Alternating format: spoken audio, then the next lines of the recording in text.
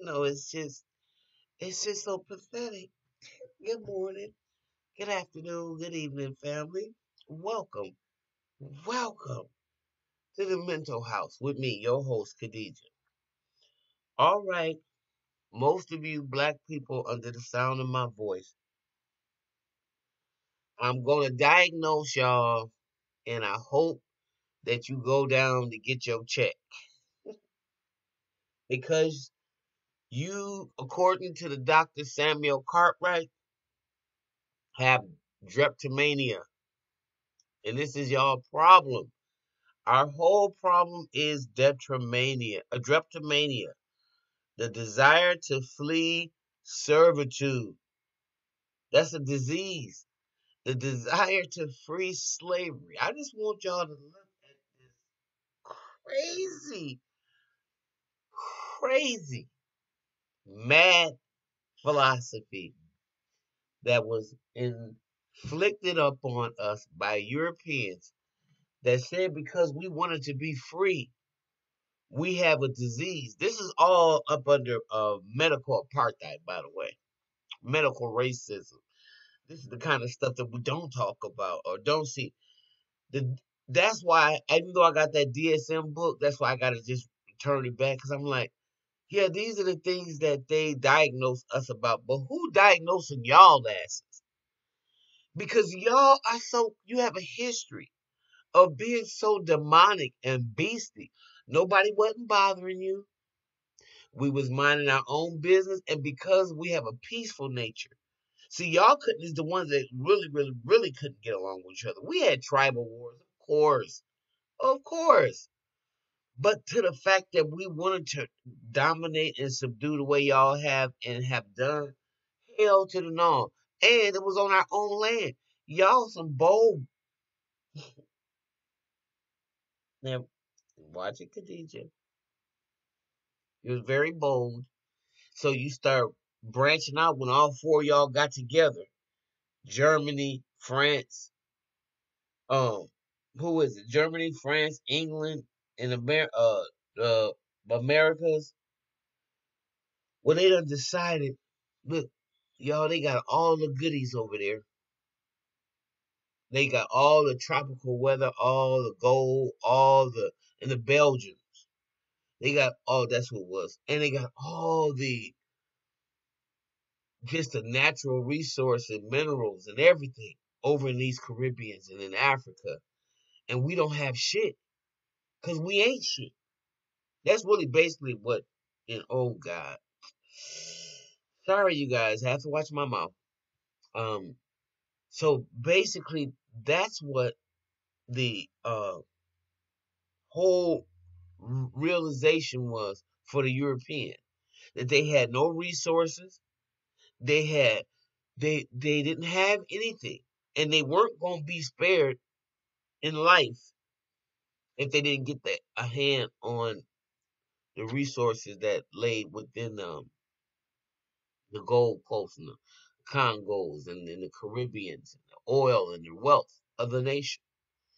The thing about it is because we are so rich with it, and I want us to really understand this, all jokes aside.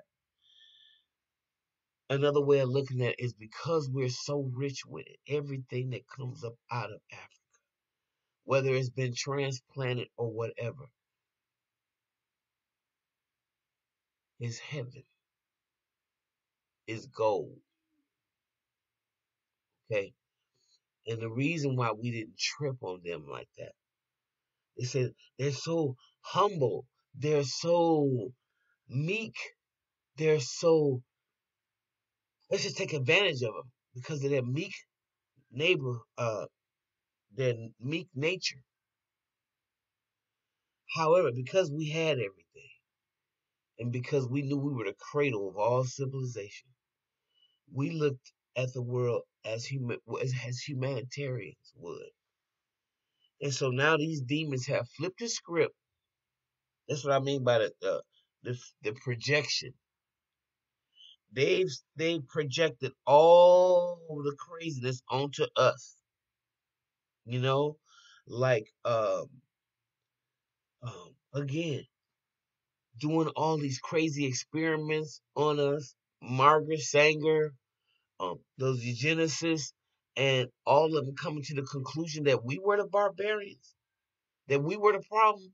When you came and invaded some other place that you didn't even belong and started raping and pillaging and stealing, but yet and still you thought you were superior. You were the true savage on the earth. And this same programming has never changed. It's a diabolical um, programming, a racist programming that is so basically insane that it does belong in the mental house because it's the order of the day. Sam Cartwright believed that black people needed to be kept in a childlike state to prevent them from running away. In fact, he said health, uh, slavery was healthy um, because it encouraged discipline and direction, and it, it was sparing us from being savages. Now, they call it, said we savages because we didn't have a lot of clothes on, right? That was one of the reasons. Now, what kind of fool would think that you would be running around with clothes on and it's 100 degrees or better every day? So they dress for the weather, right? But here come these crazy Europeans with the top hats and the ruffled shirts and the knickerbocker and the crazy uh, looking attire. if they were, I mean, I'm just saying. And they didn't look at themselves as looking stupid to the African. Well, the African probably said, well, where you came from, you need that. Because we were analytical thinkers like that. And I'm just amazed without just trying to be, you know, mean. I'm just like, when you look at history and how we got here, I don't even understand coming up with shit like Dreptomania and um those kind of categories for black thinking and black bodies. When you are so psychotic that you can actually put this and use this as a mantra to define a people, it's like when does somebody get to define you? We need to change all this stuff around and begin to challenge your psychic. All these studies and stuff that y'all have the power to do. Now we should get the Mexicans and the uh, uh, uh, uh Native American and all of them to do a study on what they think their experience with you have been. And what kind of savages or what kind of humans do they think that you are? I think it's a problem that y'all doing all the right and, and beginning to examine everybody else. Now it's time for all the other groups to get together to examine this white man and his psychic. And I think it's very important so we can have peace. So y'all can see how y'all really are and how we see y'all. Because a lot of y'all, when y'all hear this stuff back right now, you cringe. You're like, oh, no, no, no, that's not true. That's not true. Because you have this cognitive dissonance. And of course, you haven't been taught this in school. So it's hard for you to believe this craziness. I know. But I still want you to know that Wherever you are on the planet Earth, you are not a native of that place. You came and took it. And you need to understand how everybody feels about you. You don't get to write the script for the world no more.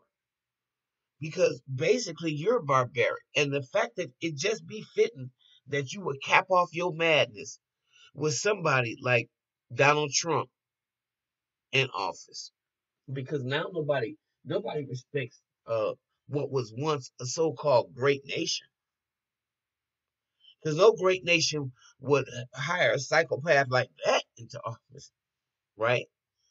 A person that has allies and stuff, and then just turn them off and go against everything and just come in like you're trying to start trouble, like you're trying to uh, uh, be aggressively dominating over somebody. Hmm. Well, it was dumb then, and it was and it's gonna be dumb now. Because what is gonna be fitting is most of the population are people of color. And wherever you've gone on the planet, you've caused a lot of chaos. And then you get to write stuff like Dr. Cartwright and put it in books like the DSM and have those of us who like to study psychology and things of that nature or the mind uh look at your madness and then see the racism that you try to inject into everything. Everything.